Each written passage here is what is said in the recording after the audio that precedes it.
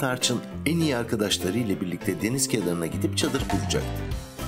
Her şey yolunda gidiyordu ancak birçok sorunla karşılaştılar.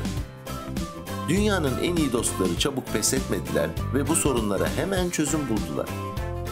Arkadaşlık da bunu gerektirmez mi? Tarçın ile en iyi arkadaşları. Türkiye İş Bankası Kültür Yayınları'nda.